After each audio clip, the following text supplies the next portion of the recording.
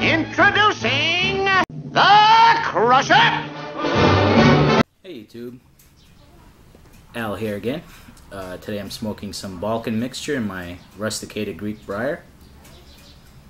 Today's video is going to be uh, on the educational side, I guess you could say. I'm going to build another pipe and uh, I'll show you that. I bought another pre-drilled briar block uh, from pipesandcigars.com. Uh, the hard work's already done, the hole's drilled, the hole for the stem is already drilled. It's just a big block and uh, you can pretty much design it whatever way you want. Um, I'll probably be making a another like a uh, straight billiard or a Canadian style. Uh, but this one's going to be a little different. I think I'm actually going to make a YTPC pipe. And what I mean by that is um, I've gotten some inspiration from uh, just over my shoulder, the Stanley Cup. I figured how cool would it be to make a pipe and try to engrave a lot of the YouTube uh, handles from the pipe community on the pipe itself. So kind of make it like a little min mini Stanley Cup type pipe. Um, never done anything that crazy before. I have built a pipe before. If you look through my other videos, I believe I have a three-part series, educational type, on how to make your own pipe. So this is going to be another one. But what I will do is um, I'll put it all on this video. I'll just chop it up and just combine them all. That way it'll only be one video and you don't have to go hunting for multiple parts. So that's the block. And again, I just use hand tools. I have a small vise at the end of my bench that I put the block in. And uh, I was trying to use a coping saw, but I broke the blade, so I just use a big hacksaw carefully. And I have a couple of rasps and files and a lot of sandpaper. A lot, a lot of sandpaper. Uh, and also, um, I was given a, a Dremel engraver as a Christmas gift this year. I've used it a few times already. Uh, it's one of these. It's got a little uh, point on there, and it's adjustable uh, as far as the depth goes on how deep you can go with the uh, the cuts or the lines, whatever you want to do. So I'm going to be using that. Again, it's going to be a work in progress. I'll pause the video here and uh, I'll show you how I mark out the pipe. Hey everyone, I'm back. Uh, I just drew out the basic shape on the pipe with a pencil. You can kind of see I'm going to make a really fat wide rim bowl on there. And just some preliminary lines where I'm going to cut, what I want to keep. Transfer it all the way around. And uh, as far as the circle shapes go, I just use whatever circles I can find. Uh, sometimes a socket, or uh, for the top was actually a K-cup that was perfectly round and it was the right size. So that's what I'll be using for that. And as far as drawing the lines, just a trusty ruler and a pencil. And um, just draw out the rough shape. And like for some of these, you can kind of measure and just keep transferring down the same measurement uh, the block is not 100% square, unfortunately. So you just gotta kind of eyeball most of it and use the ruler to help you with the rest. And hopefully with that you can get pretty close to what you want to do. And when you make your cuts, just um, try to go straight. Uh, take your time. That's the biggest thing. Uh, try not to be in a rush when you're doing this. Um, take your time. Just go slow with the saw. Cut, you know, make one cut at a time and stop. Take a look and then go on to your next cut and then your next cut and your next cut so hopefully this works out well and I'm gonna go cut it right now and I'll come back with the rough shape done. Here's the rough shape with the cuts made and the pipe's done. Awesome. No it's not done. Uh, it's the rough shape. Again if you look at the previous section I made this cut first and then I made this cut going this way. Uh, again, just take your time, be really careful, uh, just follow the line. Um, again, the, the block's not really straight, so I don't use a level or anything. I just eyeball it, I put it in the vise, and if it looks straight to me, and then I just try to cut along with that line with the hacksaw, and I think I did a pretty good job. Uh, same thing here. I also go just a little bit beyond the lines because I can always file it to the final shape with the rasps. And this section here, you can see it doesn't quite come to the end. Um, I'm not sure if I'm going to cut that or not because it's really thin. So I think I'm just going to get the rasps, start knocking these corners off. And I'll look and see here. I might just do this part with the rasp in the file. So yeah, I think that's it right there. But that's it. Total time maybe 15 minutes, if that. Uh, the rasps and the sanding is what takes the longest time, believe it or not. So I will get onto that and I will add to the video. Hey YouTube, I figured I'd show you a little of the filing work being done. I have it in the vise here and you just grab your rasp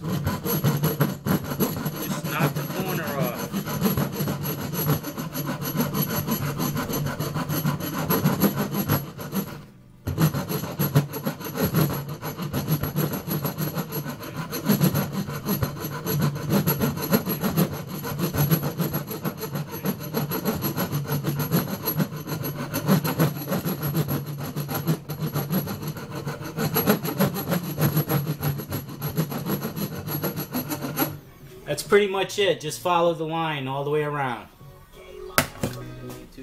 Al here again. Uh, the rough shape has now been filed out. Uh, you can see all the lines pretty much filed right to the lines. If not, the line has actually disappeared. Some spots you could still see a little bit.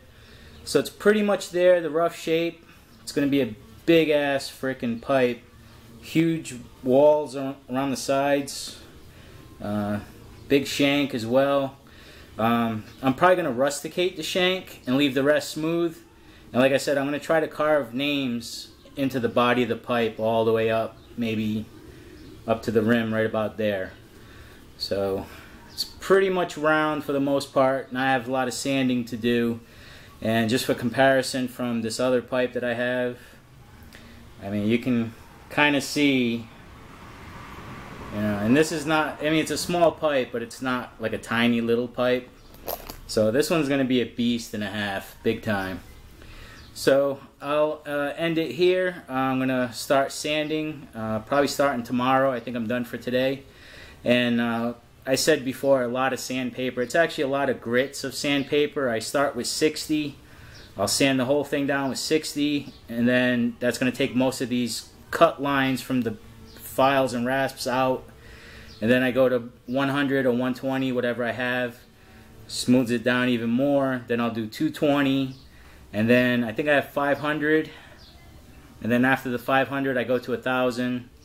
And then 1,500 and then 2,000. So uh, hopefully on the next one, after all the filing, you'll see it should be perfectly smooth when it's at the next step, I should say.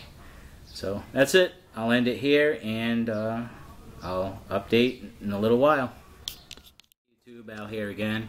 Uh, this time I just finished sanding with some 60 grit. Or I should say I'm just about done sanding with some 60 grit. You can see here the rough shape is pretty much done. It's pretty much a circle all the way around. Uh, I still got a little bit more sanding to do with the 60 grit and um, again, the 60 grit's just going to take a lot of the um, the cut marks from the rasps and the files. It's going to smooth that out a little bit and finalize the shape.